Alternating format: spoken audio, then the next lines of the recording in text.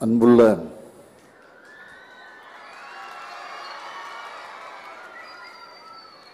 ஒருங்கிணைந்த கோவை மாவட்டத்தில் இருந்து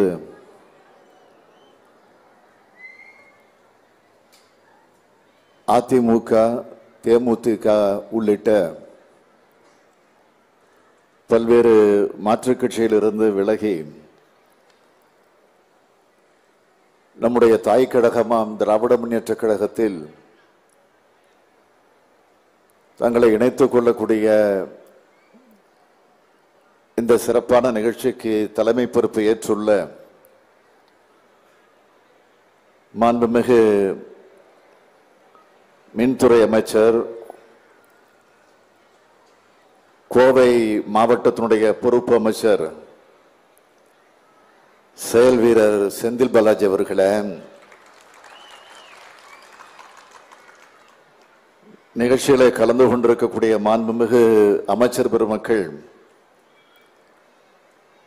முத்துசாமி அவர்களே சுவாமிநாதன் அவர்களே ராணிப்பேட்டை காந்தி அவர்களே கயல்விழி செல்வராஜ் அவர்களே தொடக்கத்தில் அனைவரையும் வரவேற்று மகிழ்ந்திருக்கக்கூடிய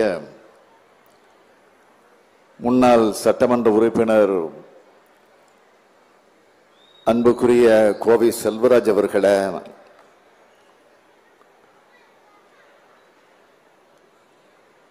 முன்னாள் அமைச்சர் பெருமக்கள் அண்ணன் கண்ணப்பன் அவர்களை பொங்கலூர் பழனிசாமி அவர்களை கோவை தெற்கு மாவட்டத்தினுடைய செயலாளர் தளபதி முருகேசன் அவர்களை வடக்கு மாவட்டத்தினுடைய செயலாளர் ரவி அவர்களை நாடாளுமன்ற உறுப்பினர் சண்முக சுந்தரம் முன்னாள் சட்டமன்ற உறுப்பினர் அன்புக்குரிய ஆறுகுட்டி அவர்களை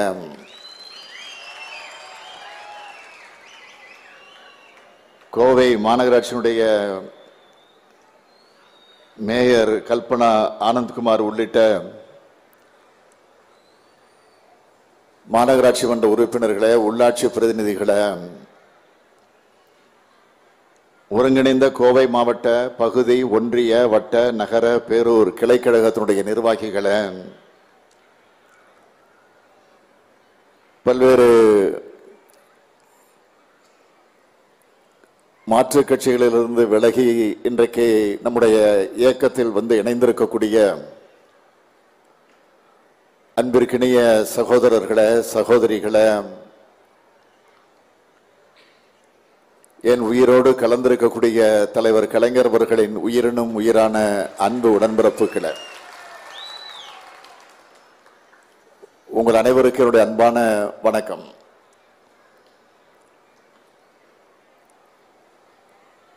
வரவேற்புரையாற்றி இருக்கக்கூடிய கோவை செல்வராஜ் அவர்கள் ஏற்கனவே சில மாதங்களுக்கு முன்னால் நம்முடைய இயக்கத்தில் அவர் தன்னை இணைத்துக் கொண்டு அதை தொடர்ந்து இந்த மாவட்டத்தில் இருக்கக்கூடிய மாற்றுக் கட்சியை சார்ந்தவர்கள் நம்முடைய தாய் கழகத்தில் இணைவதற்கு தயாராக இருக்கிறார்கள் காத்து கொண்டிருக்கிறார்கள். அதற்குரிய தேதியை நீங்கள் வழங்கிட வேண்டும் என்று தொடர்ந்து செல்வராஜ் அவர்களும் அதேபோல் இந்த மாவட்டத்தினுடைய பொறுப்பு அமைச்சர் செந்தில் பாலாஜி அவர்களும் என்னிடத்தில் கேட்டுக்கொண்டிருந்தார்கள் இடையில இடைத்தேர்தல் வந்துவிட்டது. ஈரோடு கிழக்கு தொகுதியினுடைய இடைத்தேர்தல் வந்த காரணத்தால் அதிலே முழு கவனத்தை நாம் செலுத்த வேண்டிய அவசியத்திற்கு ஆளான காரணத்தால் அவருடைய வேண்டுகோளை உடனடியாக நிறைவேற்ற முடியாமல் இன்றைக்கு இந்த நிகழ்ச்சி ஏற்பாடு செய்யப்பட்டிருக்கிறது. இந்த நிகழ்ச்சியில உங்களை எல்லாம் சந்திக்கக்கூடிய ஒரு நல் வாய்ப்பை பெற்றமைக்கு நான் மிகுந்த மகிழ்ச்சி அடைகிறேன் பெருமைப்படுகிறேன்.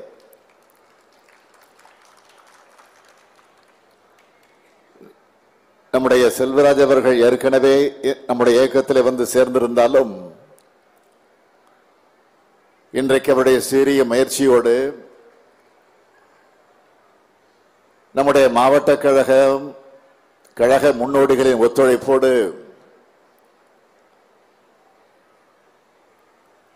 ஆயிரக்கணக்கில் ஏறக்குறைய நாலாயிரத்திற்கு மேற்பட்டவர்கள் இன்று அதிமுக தேமுதிக போன்ற பல்வேறு கட்சிகளில் இருந்து விலகி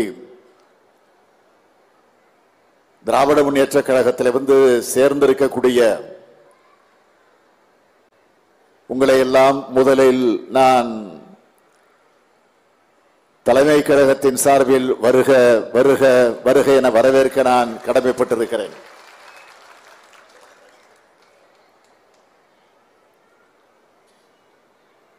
நம்முடைய செல்வராஜ் அவர்கள் எப்படிப்பட்ட செயல் வீரர் எப்படிப்பட்ட பேச்சாளர் தொலைக்காட்சிகளில் விவாத மேடைகளில் எப்படி ஆற்றலோடு பங்கேற்பார் என்பதெல்லாம் எல்லோருக்கும் தெரியும். அவர் அதிமுகவில் இருந்தபோது தொலைக்காட்சிகளில் அவர் விவாத மேடைகளில் பங்கேற்கிற அந்த காட்சிகளை எல்லாம் நான் அடிக்கடி பார்த்தவன். அப்படி பார்த்து கொண்டிருக்கிற போது பல்வேறு அதிமுகவை சார்ந்தவர்கள் விவாத மேடைகளில் பங்கேற்கிற போது சில நேரங்களில் எனக்கு கோபம் வரும். ஏன் ஆத்திரம் வரும்? ஆனால் செல்வராஜ் அவர்கள் விவாத பங்கெடுக்கிற பங்கேற்கிற போது எனக்கு ஆத்திரமோ கோபமோ வருவது கிடையாது. ஏனென்றால் உள்ளொன்று வைத்துக்கொண்டு அவர் வெளியில ஒன்று பேசுவது உள்ளே ஒன்று பேசுவது என்று இல்லாமல் வெளிப்படையாக எதையும் பேசக்கூடியவர். அவர் சொல்லக்கூடிய வாதத்தை அழுத்தமாக பேசக்கூடியவர். சில நேரங்களில் கொஞ்சம் நம்ம திட்டி பேசி இருக்கிறார் அப்படி திட்ட திட்ட தான் வைரத்தை தீட்ட தீட்ட தான் வைரம் ஜொலிக்கும் என்பதை போல நம்மை திட்ட திட்ட தான் நாம இன்றைக்கு இன்றைக்கு வைரமாக ஜொலித்துக் கொண்டிருக்கிறோம். அவரே சொன்னார் பேசுகிற போது கிழகிழப்புக்கார ஏமாத்தி தாய் கழகத்திடமிருந்து எங்களை பிரித்து அதற்கு பிறகு உண்மை என்ன என்பதை அறிந்து புரிந்து இன்றைக்கு தாய் கழகத்திற்கு தாயை தேடி வந்திருக்கிறோம் என்று சொன்னார். அதுதான் உண்மை. ஆகவே இன்றைக்கு தாயை தேடி வந்திருக்கக்கூடிய அவரை மட்டுமல்ல அவரோடு சேர்ந்து வந்திருக்கக்கூடிய அவரை நம்பி வந்திருக்கக்கூடிய அவர் மீது நம்பிக்கை வைத்து வந்திருக்கக்கூடிய உங்களை தாயுள்ளத்தோடு மீண்டும் ஒரு முறை நான் வருக வருக வருக என்று வரவேற்க விரும்புகிறேன்.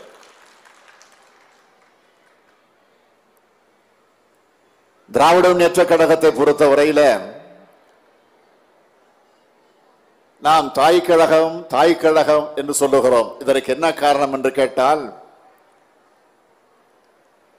இந்த கழகத்திற்கென்று ஒரு வரலாறு இருக்கிறது.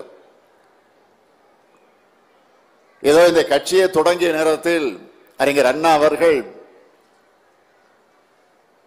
ஆட்சிக்கு வந்தே தீர வேண்டும் ஆட்சி பொறுப்புக்காக இந்த இயக்கம் துவக்கப்படுகிறது என்று இந்த கட்சியை தொடங்கல. ஆயிரத்தி தொள்ளாயிரத்தி நாற்பத்தி ஒன்பதாம் ஆண்டு வடசென்னை பகுதியில் ராபின்சன் பூங்காவில் கொட்டு மழையில் தலைவர் அண்ணாவர்கள் பேரறிஞர் அண்ணாவர்கள்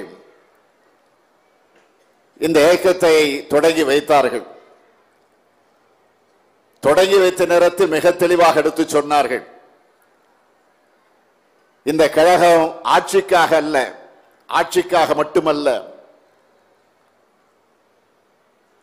இந்த நாட்டில் இருக்கக்கூடிய ஏழை எளிய மக்களுக்கு விவசாய பெருங்குடி மக்களுக்கு நெசவாள தோழர்களுக்கு தொழிலாளர் நண்பர்களுக்கு பிற்படுத்தப்பட்ட அடித்தளத்தில் வாழ்ந்து கொண்டிருக்கக்கூடிய மக்களுக்கு ஒட்டுமொத்தமாக இந்த தமிழ் இனத்திற்காக தமிழ் சமுதாயத்திற்காக இந்த கழகம் தொடங்கப்படுகிறது உருவாக்கப்படுகிறது என்றுதான் அறிஞர் அண்ணா அவர்கள் இந்த இயக்கத்தை உருவாக்கி தந்தார்கள். நீங்கள் ஒன்றை எண்ணி பார்க்க வேண்டும். நாட்டில் இன்றைக்கு எத்தனையோ கட்சிகள் இருக்கிறது. வரலாற்றில் இடம்பெற்றிருக்கக்கூடிய கட்சிகளும் உண்டு. அப்படி அந்த உணர்வோடு தோன்றிய கட்சிகள் செயல்பாடு பார்த்து கொண்டிருக்கிறோம். ஆனால் அதே நேரத்தில் திடீர் திடீரென தோன்றக்கூடிய கட்சிகளையும் பார்க்கிறோம். அப்படி தோன்றக்கூடிய கட்சிகள் எல்லாம் தோன்றிய அடுத்த நாள ஏன் தோன்றி அன்றைக்கு தோன்றுவதற்கு முன்பே நான் தான் அடுத்த ஆட்சி. நான் தான் அடுத்த முதலமைச்சர். நாங்க தான் ஆட்சிக்கு வருவோம் என்று சொல்லி அந்த உணர்வோடு தொடங்கப்படக்கூடிய கட்சிகள் எல்லாம் இன்றைக்கு எந்த நிலைமைக்கு போயிருக்கிறது அனாதைகளாக இன்றைக்கு அவர் கலைந்து கொண்டிருக்கக்கூடிய அந்த காட்சிகளையும் நிலைமைகளையும் நாம் பார்த்து கொண்டுதான் இருக்கிறோம். ஆனால் திராவிட முன்னேற்ற கழகம் அப்படி அல்ல. அதைத்தான் அண்ணா தொடங்குகிற போதே சொன்னார் ஆட்சிக்காக மட்டுமல்ல நீங்கள் ஒன்றை மறந்துவிடக்கூடாது கூடாது. தொடங்கி நாம் எப்பொழுது முதன் முதலில் தேர்தல் களத்தில் வந்து ஈடுபட்டோம் நாற்பத்தி தொடங்கி அதற்கு பிறகு நடைபெற்றிருக்கக்கூடிய தேர்தலில் நாம் ஈடுபடல. ஐம்பத்தி ரெண்டுல நடந்த தேர்தலில் ஈடுபடல. ஐம்பத்தி ஏழாம் ஆண்டு நடைபெற்ற தேர்தலில் தான் முதன் முதலில் திராவிட முன்னேற்ற கழகம் களத்தில் இறங்கியது. அது ஐம்பத்தி ஏழாம் ஆண்டு நடைபெற்ற தேர்தலில் ஈடுபடலாமா களத்தில் இறங்கலாமா என்று அறிஞர் அண்ணா அவர்கள் திருச்சியில் நடைபெற்ற ஒரு மாநில மாநாட்டில் அந்த மாநாட்டில் திறந்து திரண்டிருக்கக்கூடிய மக்களிடத்தில் ஒரு பெட்டியை வைத்து ஐம்பத்தி ஏழாம் ஆண்டு நடைபெறவிருக்கக்கூடிய தேர்தலில் ஈடுபடலாமா வேண்டாமா என்பதை வந்திருக்கக்கூடிய கழக தோழர்கள் கட்சியினுடைய நிர்வாகிகள் செயல் வீரர்கள் நீங்கள் சொல்லுங்கள் வாக்களியுங்கள் உங்களுடைய வாக்கை எண்ணி பார்த்து ஆதரிக்கலாமா வேண்டாமா என்பதை தேர்தலில் ஈடுபடலாமா? வேண்டாமா என்பதை நீங்கள் முடிவு செய்யுங்கள். என்ற ஒரு சீட்டு தரப்பட்டது வந்த தோழர்கள் அத்தனை பேருக்கும். அந்த சீட்டில அத்தனை பேரும் எழுதி போட்டார்கள். தேர்தலில் ஈடுபடலாமா வேண்டாமா என்பதை அதில் எழுதி அந்த பெட்டியில போட்டார்கள். அதற்கு பிறகு அந்த பெட்டியை பிரித்து அந்த சீட்டை எண்ணி பார்த்தார்கள். எண்ணி பார்த்தபோது தேர்தலில் ஈடுபடலாம் என்பது அதிகமான பேர் ஆதரவு தந்தார்கள் வாக்களித்திருந்தார்கள். அதற்கு பிறகுதான் ஐம்பத்தி ஏழாம் ஆண்டு நடைபெற்ற சட்டமன்ற பொது தேர்தலில் நாடாளுமன்ற தேர்தலில் நாம் ஈடுபட்டோம். அப்படி ஈடுபட்ட நேரத்தில் ஐம்பத்தி ஏழாம் ஆண்டு ஈடுபட்ட நேரத்தில் எத்தனை பேர் சட்டமன்ற உறுப்பினர்களாக நாம் தேர்ந்தெடுக்கப்பட்டோம்? திமுக கழகத்தின் சார்பில் பதினைந்து பேர். அந்த பதினைந்து பேரில் ஒருவராக நம்முடைய தலைவர் கலைஞர் அவர்கள் குளித்தலை தொகுதியிலிருந்து சட்டமன்ற உறுப்பினராக தேர்ந்தெடுக்கப்படுகிறார்.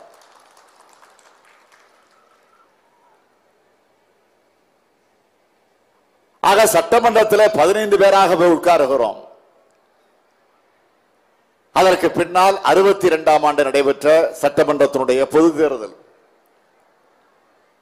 அந்த சட்டமன்றத்தினுடைய பொது தேர்தலில் ஐம்பது பேர் வெற்றி பெறுகிறோம். சட்டமன்றத்தில் எதிர்கட்சி வரிசையில் இப்போ உட்காருகிறோம். அறுபத்தி ரெண்டுல அதை தொடர்ந்து அறுபத்தி ஏழாம் ஆண்டு அண்ணா தலைமையில பெரும்பான்மையாக வெற்றி பெற்று ஆட்சி பொறுப்பேற்கிறோம் எதற்காக நான் இதை வரிசைப்படுத்தி சொல்லுகிறேன் என்று சொன்னால் நாற்பத்தி ஒன்பதை தொடங்கி இருந்தாலும் நாம் தேர்தல் களத்திற்கு வந்தது ஐம்பத்தி ஏழாம் ஆண்டு. அதற்கு பிறகு அறுபத்தி ரெண்டு அதற்கு பிறகு அறுபத்தி ஏழு ஆட்சிக்கு வருகிறோம். ஆட்சிக்கு வந்த அண்ணா அவர்கள் தமிழ்நாட்டு மக்களுக்கு பல்வேறு திட்டங்களை தமிழன் தன்மானத்தோடு வாழ வேண்டும் என்கிற அந்த உணர்வோடு பல்வேறு திட்டங்களை சட்டமாக்கி நிறைவேற்றி தந்தார். எத்தனையோ அறிவிப்புகள் உண்டு எத்தனையோ திட்டங்கள் உண்டு. ஆனா அண்ணா அவர்கள் நம்மிடத்தில் முதலமைச்சராக பொறுப்பேற்று அவர் உயிரோடு இருந்தது ஓராண்டு காலம்தான். அந்த ஓராண்டு காலத்தில் சரித்திரத்தில் இடம்பெறக்கூடிய அளவிற்கு சட்டமன்றத்தில் பல தீர்மானங்களை கொண்டு வந்து நிறைவேற்றி கொடுத்தார். அதில் முக்கியமான மூன்று தீர்மானங்கள் என்ன என்று கேட்டா முதல் தீர்மானம் சீர்திருத்த திருமங்கள் அனைத்தும் சட்டப்படி செல்லுபடியாகும் என்ற தீர்மானம்.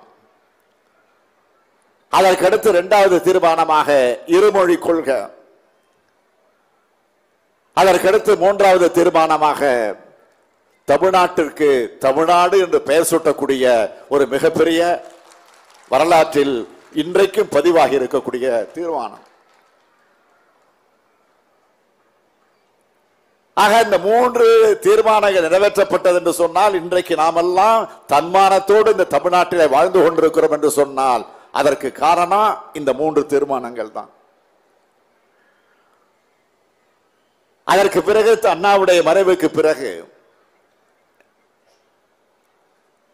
கலைஞர் முதலமைச்சராக பொறுப்பேற்கிறார். முதலமைச்சராக பொறுப்பேற்றதற்கு பிறகு எழுபத்தொன்னுல மீண்டும் சட்டமன்றத்தினுடைய தேர்தல் அந்த சட்டமன்ற தேர்தலில் மீண்டும் திராவிட முன்னேற்ற கழகம் வெற்றி பெற்று தலைவர் கலைஞர் தலைமையில் நூற்றி எண்பத்தி நான்கு இடங்களில் வெற்றி பெற்று ஆட்சிக்கு வருகிறோம். நான் பெருமையோடு சொல்லுகிறேன் இதுவரையில் தமிழ்நாட்டு வரலாற்றில் இவ்வளவு இடங்களை பெற்று நூற்றி எண்பத்தி நான்கு என்கிற ஒரு பெரிய இலக்கை பெற்று ஆட்சி பொறுப்பேற்ற கட்சி எந்த கட்சியும் கிடையாது. நம்முடைய திமுக தான் கலைஞருடைய தலைமையில் ஆட்சிக்கு வந்தோம். அது வரலாறு. அதற்கு பிறகு ஆட்சிக்கு வந்து தலைவர் கலைஞர் அவர்கள் எத்தனையோ திட்டங்களை சாதனைகளை அஞ்சு முறை அதற்கு பிறகு தொடர்ந்து இல்லை இடையிடையில் நம்முடைய ஆட்சி பறிக்கப்பட்டு அல்லது ஆட்சி கவிழ்க்கப்பட்டு அதற்கு பிறகு மீண்டும் ஆட்சிக்கு வந்து எழுபத்தொன்னில் ஆட்சிக்கு வந்தோம்னா எழுபத்தஞ்சில் இந்தியாவில் நெருக்கடி நிலை அமுல்படுத்தப்பட்டுச்சு. அந்த நெருக்கடி நிலை எதுக்கு வந்துச்சுன்னா அம்மையார் இந்திரா காந்தி அவர்கள் தனக்கு ஏற்பட்ட நெருக்கடி இருந்து தன்னை பாதுகாத்துக் கொள்ள இந்திய நாட்டிலே நெருக்கடி நிலை அமல்படுத்தினான். அந்த நெருக்கடி நிலை நேரத்தில் பலர் கைது செய்யப்பட்டாங்க. வட மாநிலத்தில் இருக்கக்கூடிய தலைவர்கள் எல்லாம் மிசா சட்டத்தின் கீழ் கைது செய்யப்பட்டு சிறையில் அடைக்கப்படுகிறாங்க. அப்போ நம்ம தமிழ்நாட்டில் ஆட்சியில் இருக்கிறோம். ஆட்சியில் இருக்கிற நேரத்தில் தலைவர் கலைஞருக்கு தூது வருகிறது. எங்கிருந்து? டெல்லியில் இருந்து அம்மையார் இந்திரா காந்தி அவர்களால் அனுப்பி வைக்கப்பட்ட தூதுவர்கள் வராங்க. என்ன தூது தெரியுமா? நெருக்கடி நிலையை நீங்க எதிர்க்க கூடாது. எதிர்த்தா அடுத்த வினாடி உங்க ஆட்சி கவிழும் கவிழ்த்துருவோம் அப்படின்னு ஒரு தூது வருது. வந்த தூதுவரிடத்தில் கலைஞர் என்ன சொன்னார் தெரியுமா? ஆட்சி அல்ல. என் உயிரே போனாலும் நான் கவலைப்பட மாட்டேன். எனக்கு ஜனநாயகம்தான் முக்கியம் என்று சொல்லி வந்த தூதுவர் அனுப்பி வைத்துவிட்டு அடுத்த நாளே கடற்கரையில் லட்சக்கணக்கான மக்களை ஒன்று திரட்டி அந்த கூட்டத்தில் தீர்மானம் திராவிட முன்னேற்ற கழகத்தின் சார்பில் கலைஞர் கொண்டு வருகிறார். என்ன தீர்மானம் தெரியுமா? நெருக்கடி நிலையை உடனடியாக ரத்து செய்திட வேண்டும். இதை பயன்படுத்தி கைது செய்து சிறையில் அடைத்து வைத்திருக்கக்கூடிய தலைவர்கள் எல்லாம் உடனடியாக விடுதலை செய்திட வேண்டும். திராவிட முன்னேற்ற கழகம் இந்த தீர்மானத்தை கொண்டு வருகிறது என்று முன்மொழிந்து அந்த கடற்கரையில் திறந்திருந்த லட்சக்கணக்கான தமிழ் பெருங்குடி மக்களை எழுந்து நிற்க வைத்து அத்தனை பேரையும் வழிமுறைய வைத்தார் கலைஞர் அவர்கள். ஆக தீர்மானம் நிறைவேற்றப்பட்டது. நிறைவேற்றப்பட்ட அடுத்த வினாடி தமிழ்நாட்டில் நடைபெறக்கூடிய நம்முடைய கழக ஆட்சி கலைஞர் தலைமையில் நடைபெறக்கூடிய ஆட்சி கவிழ்க்கப்படுகிறது. கவிழ்க்கப்பட்ட அடுத்த வினாடி நாங்கள் எல்லாம் கைது செய்யப்படுகிறோம். மிசா கைதிகளாக சிறையில் அடைக்கப்படுகிறோம். ஐநூறுக்கு மேற்பட்டவர்கள் சிறையில் வாடுகிறோம். அதில் நடந்த கொடுமைகள் இதெல்லாம் நான் அதிகம் சொல்ல வேண்டிய அவசியம் இல்லை. அதெல்லாம் உங்களுக்கே தெரியும். எதற்காக சொல்றேன்னா அப்போ தலைவர் கலைஞரோட ஆட்சியை பத்தி கவலைப்படல மக்களை பத்தி தான் நாட்டை பற்றி தான் அதற்கு பிறகு நடைபெற்ற தேர்தலில் தோல்வியை சந்திச்சோம் வெற்றியை சந்திச்சோம். எமர்ஜென்சிக்கு பிறகு நடைபெற்ற தேர்தலில் வெற்றி பெறல. பதிமூணு வருஷம் நம்ம ஆட்சி கலைக்கப்பட்டு பதிமூணு வருஷம் நம்ம ஆட்சிக்கு வர முடியல. அதற்கு பிறகு எண்பத்தொன்பதில் பதிமூணு வருஷத்திற்கு பிறகு நம்ம ஆட்சிக்கு வர்றோம். தொண்ணூத்தொன்னுல மீண்டும் நம்முடைய ஆட்சி கவிழ்க்கப்படுது. இலங்கையில் இருக்கக்கூடிய தமிழர்களுக்கு திமுக துணை நிற்குது என்று ஒரு கலங்கத்தை சொல்லி விடுதலை புலிக்கு துணை நிற்கிறது என்று ஒரு அபாண்டத்தை சொல்லி நம் மீது பழி போட்டு நம்ம ஆட்சியை கவிழ்த்தாங்க. தொண்ணூத்தி ஒண்ணுல. அதற்கு பிறகு தொண்ணூத்தி ஆறுல மீண்டும் ஆட்சிக்கு வரோம். ரெண்டாயிரத்தி ஒண்ணுல மீண்டும் ஆட்சி இல்லை. அதற்கு பிறகு ரெண்டாயிரத்தி ஆறுல. ஆக ரெண்டாயிரத்தி ஆறுல மீண்டும் ஐந்தாவது முறையாக நம்முடைய தலைவர் கலைஞர் அவர்கள் தமிழ்நாட்டினுடைய முதலமைச்சராக பொறுப்பேற்கிறார். அதற்கு பிறகு பத்து வருஷம் ஆட்சியில் இல்லை. இப்போ ரெண்டாயிரத்தி இருபத்தொன்னு ஆறாவது முறையாக என்னுடைய தலைமையில் இன்றைக்கு திராவிட முன்னேற்ற கழகத்துடைய ஆட்சி நடைபெறுகிறது. ஆக எதற்காக சொல்றேன்னா இந்த நாட்டில் நம்மை போல் வெற்றி பெற்றிருக்கக்கூடிய கட்சி ஒன்று கிடையாது. நம்மை போல் தோற்றிருக்கக்கூடிய கட்சி ஒன்று கிடையாது. ரெண்டுல நமக்கு தான் பெருமை. வெற்றியிலும் சரி தோல்வியிலும் சரி ரெண்டும் நமக்கு தான் பெருமை. ஆக வெற்றி தோல்வியை பற்றி கவலைப்படாமல் பாடுபடக்கூடிய கட்சி திராவிட முன்னேற்ற கழகம். அந்த திராவிட முன்னேற்ற கழகம் இன்றைக்கு ஆறாவது முறையாக மக்களுடைய அன்பை பெற்று ஆதரவை பெற்று இன்றைக்கு ஆட்சியில் இருக்கிறது என்று சொன்னால் இன்றைக்கு எங்கள் மீது இந்த இயக்கத்தின் மீது நம்பிக்கை வைத்து ஆதரவு தந்திருக்கக்கூடிய மக்களுக்கு நாம் தேர்தல் நேரத்தில் அளித்திருக்கக்கூடிய உறுதிமொழிகள் காப்பாற்றப்பட்டுக் கொண்டிருக்கிறதா இல்லையா? தேர்தல் நேரத்தில் சொன்னோம். நாங்கள் ஆட்சிக்கு வந்தால் இதெல்லாம் செய்வோம்னு. கலைஞர் எப்படி தேர்தல் நேரத்தில் தேர்தல் அறிக்கையை வெளியிடுகிற போது திருக்குறள் போன்ற ரெண்டு வரியை சொல்லுவார். சொன்னதை செய்வோம் செய்வதை சொல்லுவோம்னு. ஆக இன்றைக்கு ஆறாவது முறையாக நடைபெறக்கூடிய கலைஞருடைய வழிநடையில் நடைபெறக்கூடிய அந்த திராவிட மாடல் ஆட்சி சொன்னதை மட்டுமல்ல செய்வது மட்டுமல்ல சொல்லாததையும் செய்து கொண்டிருக்கக்கூடிய ஆட்சியாக இன்றைக்கு நம்முடைய ஆட்சி பீடு நடை போட்டுக் கொண்டிருக்கிறது. சொன்னது பஸ்ஸில் பெண்கள் இலவசமாக பயணம் செய்யலாம். இது சொன்னது. கொரோனா காலத்தில் பாதிக்கப்பட்டிருக்கக்கூடிய மக்களுக்காக வந்தவுடன் நாங்கள் நாலாயிரம் தருவோம்னோம். சொன்னது. சொல்லாதது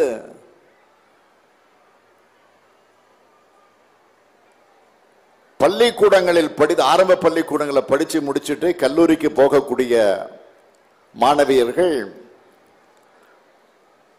அவர்களுக்கு உதவித்தொகையாக மாதம் ஆயிரம் ரூபாய் வழங்கப்படும். அதற்காக ஒரு புதுமை பெண்கிற ஒரு திட்டம். இது சொல்லாதது. ஆக இப்படி சொன்னது மட்டுமல்ல சொல்லாததை செய்து கொண்டிருக்கக்கூடிய ஆட்சி இன்றைக்கு நடக்குதா இல்லையா? ஆக அதனால் தானே அண்மையில் நடைபெற்ற இடைத்தேர்தல் பக்கத்தில் இருக்கக்கூடிய கொங்கு இதே கொங்கு மண்டலத்தை சார்ந்த ஈரோடு கிழக்கு தொகுதியில் ஏற்கனவே நடந்து முடிந்த சட்டமன்ற தேர்தலில் ஒரு பத்தாயிரத்திற்கு குறைவான வாக்கு வித்தியாசத்தில் தான் வெற்றி பெற்றிருக்கிறோம். நம்முடைய கூட்டணி கட்சி காங்கிரஸ் கட்சிக்கு ஆக அந்த தொகுதியிலிருந்து தேர்ந்தெடுக்கப்பட்ட அந்த இளைஞன் திருமகன் ஈவேரா அகால மரணம் அடைந்து விட்ட காரணத்தால் அங்கே ஒரு இடைத்தேர்தல் வர வேண்டிய ஒரு சூழ்நிலை வந்துருச்சு. அதை சந்திச்சோம். அந்த தேர்தலில் அதே காங்கிரஸ் கட்சியின் சார்பில் அதே ஈவேரா திருமகனுடைய தந்தை ஈவி கே சிலங்கோவன் அவர்களை நிற்க வச்சு நம்முடைய கூட்டணியின் சார்பில் மதச்சார்பற்ற முற்போக்கு கூட்டணியின் சார்பில் நிற்க வச்சு கிட்டத்தட்ட அறுபத்தி ஆறாயிரம் வாக்கு வித்தியாசத்தில் வெற்றி பெற வச்சிருக்கிறோமா இல்லையா? கணக்கு போட்டு பாருங்க. ஏற்கனவே நடந்த தேர்தலில் பத்தாயிரத்துக்கு கீழே. இப்போ இந்த இடைத்தேர்தலில் இவ்வளவு பெரிய வெற்றி. என்ன காரணம்? இந்த ஆட்சியின் மீது மக்களுக்கு ஏற்பட்டிருக்கக்கூடிய நம்பிக்கை. ஆக இந்த ஆட்சியின் மீது மக்களுக்கு ஏற்பட்டிருக்கக்கூடிய ஒரு சிறப்பு. ஆக அந்த அளவிற்கு ஒரு நம்பிக்கை பெற்றிருக்கக்கூடிய காரணத்தால் தானே இவ்வளவு பெரிய வித்தியாசம்? ஆகவே இதையெல்லாம் வர இருக்கக்கூடிய நாடாளுமன்ற தேர்தலில் இதே போன்ற வெற்றியை நாம் பெற்றாக வேண்டும். அதற்கு ஒரு உறுதி எடுக்கக்கூடிய நிகழ்ச்சியாகத்தான் இந்த நிகழ்ச்சி அமைந்திருக்கு. நம்முடைய செல்வராஜ் அவர்கள் இந்த இயக்கத்தில் வந்து சேர்ந்ததற்கு பின்னால் தொடர்ந்து முரசொலியில அவர் எழுதி கொண்டிருக்கக்கூடிய கட்டுரைகள் நானும் படித்துக் கொண்டிருக்கிறேன். அவர் வந்து சேர்ந்தப்போ சொன்னார் நான் ஏற்கனவே இத்தனை வருஷம் இந்த கட்சியில செயல்பட்டவன் தான் இப்படி எல்லாம் பாடுபட்டு வந்தான். ஏதோ இடையில போயிட்டேன். இப்ப அதை விட சிறப்பாக பணியாற்ற வந்திருக்கிறேன் என்று அந்த உறுதியோடு வந்திருக்கிறேன்னு சொல்லி அதற்கு எடுத்துக்காட்டாக இன்றைக்கு நாலாயிரத்திற்கு மேற்பட்டவர்களை ஒருங்கிணைச்சு உங்களையும் அழைச்சிட்டு வந்து இந்த இயக்கத்தில் சேர்த்திருக்கிறாரே. அதற்காக நான் மீண்டும் மீண்டும் தலைமை கழகத்தின் சார்பிலே மட்டுமல்ல என்னுடைய சார்பில் மட்டுமல்ல நம்மை ஆளாக்கி உருவாக்கிய நம்முடைய தலைவர் கலைஞர்வர்களின் சார்பிலே என்னுடைய இதயபூர்வமான நன்றியை வணக்கத்தை நான் மீண்டும் மீண்டும் தெரிவித்துக் கொள்ள விரும்புகிறேன். ஆகவே திட்டங்கள் தொடர சாதனைகள் மலர இந்த ஆட்சி தொடர்ந்து பீடு நடை போட நாடாளுமன்ற தேர்தலில் மிகப்பெரிய வெற்றியை பெறுவதற்கு நீங்கள் எல்லாம் இன்றைக்கே களமிறங்க வேண்டும் அதற்கு உரிய வியூகத்தை அமைத்திட வேண்டும். ஏனென்றால் இன்றைக்கு மதத்தை பயன்படுத்தி ஜாதியை பயன்படுத்தி கலவரத்தை ஏற்படுத்தலாம். குழப்பத்தை ஏற்படுத்தலாம். அதன் மூலமாக இந்த ஆட்சியை வீழ்த்து விடலாம் என்றெல்லாம் கனவு கண்டு இன்றைக்கு அந்த முயற்சி ஈடுபட்டிருக்கிறார் ஈடுபட்டு கொண்டிருக்கிறார்கள். எனவே அதற்கெல்லாம் நாம் செவி சாய்க்காமல் எதை பற்றியும் கவலைப்படாமல் நம்முடைய இலக்கு என்பது நாடாளுமன்ற தேர்தல் தான். கடந்த முறை நாடாளுமன்ற தேர்தலில் ஒரே ஒரு இடத்தை இடம் இழந்தோம். இப்போ வர இந்த இடத்தை இந்த வர இருக்கக்கூடிய நாடாளுமன்ற தேர்தலில் அந்த இடத்தையும் இழக்கக்கூடாது. நாற்பதுக்கு நாற்பது புதுவையும் சேர்த்து நாற்பதுக்கு நாற்பது நாடும் நமது நாளையும் நமது. ஏதோ தமிழ்நாட்டில் இருக்கக்கூடிய மதச்சார்பற்ற கூட்டணியினுடைய வெற்றி மட்டும் அல்ல இந்தியா முழுமையும் இருக்கக்கூடிய அனைத்து மாநிலங்களிலும் நாம் மிகப்பெரிய வெற்றியை பெறுவதற்கான அந்த முயற்சியில முழுமையாக ஈடுபட போகிறோம். அதற்கு நீங்கள் பக்கபலமாக இருக்க வேண்டும் துணை நிற்க வேண்டும் என்று உங்களை எல்லாம் மீண்டும் ஒரு முறை கேட்டு தாய் கழகமாம் திராவிட முன்னேற்ற கழகத்தில் வந்து சேர்ந்திருக்கக்கூடிய நம்முடைய அன்புக்குரிய உடன்பிறப்புகள் சகோதரிகள் சகோதரர்கள் நண்பர்கள் தோழர்கள் அத்தனை பேரையும் நான் மீண்டும் ஒரு முறை தலைமை கழகத்தின் சார்பில் மாவட்ட கழகத்தின் சார்பில் வருக வருக வருக வருக என்று வரவேற்று நம்முடைய அருமை சகோதரர் செல்வராஜ் அவர்களுக்கு மீண்டும் ஒரு முறை நன்றி தெரிவித்து என் உரையை நிறைவு செய்கிறேன். நன்றி வணக்கம்.